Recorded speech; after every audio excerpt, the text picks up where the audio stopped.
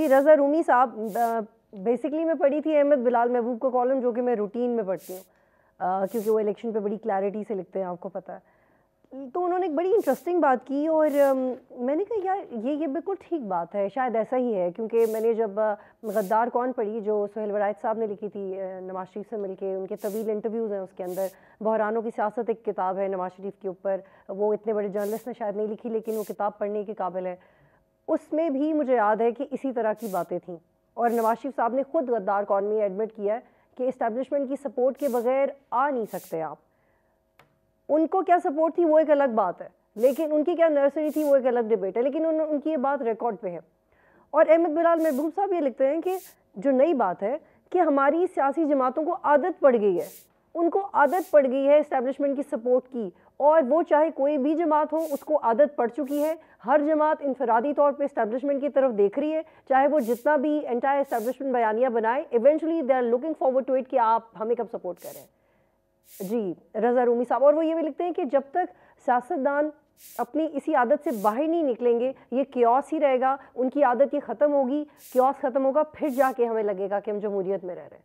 जी रज़ा रूमी बतूल, आपने बिल्कुल सही बात कही, आपने किताबों के हवाले दिए, और वैसे भी तारीख गवाह है कि ये बात जो आप कह रही हैं, ये ये वो क्या है कि बात तो सच है, मगर बात है रसवाई की। कि पचहत्तर साल में खुद जनरल बाजवा साहब ने इसका इतराफ़ किया। जब उन्होंने अलविदाई तकरीर अपनी की उन्होंने कहा कि जी हम सत्तर साल से सियासी मदाखलत करते आए हैं अब हम पीछे हट गए हैं। चलिए वो तो अल्लाह करे कि ऐसी बात हो। तो बात यह है कि और जो सियासतदान भी करते हैं कि सियासतदान भी इस्टेब्लिशमेंट की मदद मांगते हैं कोई इसमें शक नहीं है। लेकिन बतूल ताली तो दो दोनों हाथों से बचती है ना। हाँ। अगर सियासतदान इसलिए क्यों मदद मांगते हैं कि वो दूसरा फरीक ज़्यादा ताकतवर है?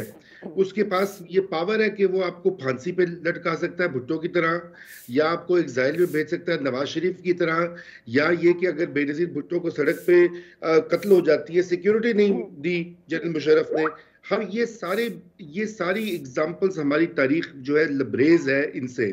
तो बात यह है कि सियासतदान जब तक आपस में मिलकर एक जैसे कि उन्होंने मिसाक जमहूरियत किया था बेनज़ीर और नवाज़ शरीफ ने आज भी पाकिस्तान को ज़रूरत है और, और क्योंकि इमरान खान को उस मिसाक जमहूरियत में लाना है। इमरान खान एक और उसमें से एक एक्सक्लूजन है या एक अलग फिनोमिना है कि वो जब तक वो जमहूरी असूलों पे नहीं खेलेंगे ये इस्टेब्लिशमेंट पे दौड़े क्यों लग रही हैं शहबाज शरीफ की या यू नो जरदारी की या ये इमरान खान क्यों मदद मांग रहा है कि मैं तो बात करना चाहता हूँ जनरल आसिम मुनीर से लेकिन वो इंटरेस्टेड नहीं है नहीं मैं बात नहीं करना चाहता नहीं मैंने कोई पैगाम भेजा है नहीं भेजा वो कहा मैं कोट करना चाहती हूँ उन्होंने कहा कि मैंने सोचा था कि नया आर्मी चीफ आएगा तो तब्दीली आएगी लेकिन कोई तब्दीली नहीं आई बल्कि सख्तियाँ आई। तो जो तब्दीली है it seems to be really interesting yeah, after, um, ये ये तब्दीली बतूल पता नहीं आप पीरो फकीरों को मानती हैं कि नहीं मानती? जब आप कहीं जाते हैं ना दरबार में तो वो आपको थापड़ा लगाते हैं।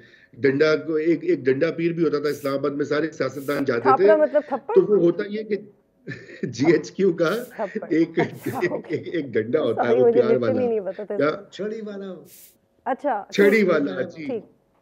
तो वो तो वो बतूल वो उनको नहीं थापड़ा नहीं मिल रहा ना। देखिए वो तो पूरा साल उन्होंने लगा दिया। 2022 उन्होंने कहा कि देखो अच्छा, मैं इतना इनकरेज करने की सेंस में आप बात करें। इनकरेज जी, जी ओके ओके मतलब थप्पड़ नहीं कुछ और ही मतलब है इसका। ठीक है आई गॉट यू मतलब थापड़ा थापड़ा। ठीक ठीक है। सबकी सबकी है ओके एग्जैक्टली डंडे से। जी हाँ, जी समझ गया की लगती है वो वो वो रजा भाई कह रहे हैं। ठीक है तो वो तो 2022 उन्होंने कहा देखो मैं तो इतना ईमानदार था आपने मुझे ईमानदार करार दिया सादिक अमीन डिक्लेयर किया और आपने मुझे बीच मंझदार छोड़ दिया और मैं अब आपको नहीं छोड़ूँगा। ठीक है?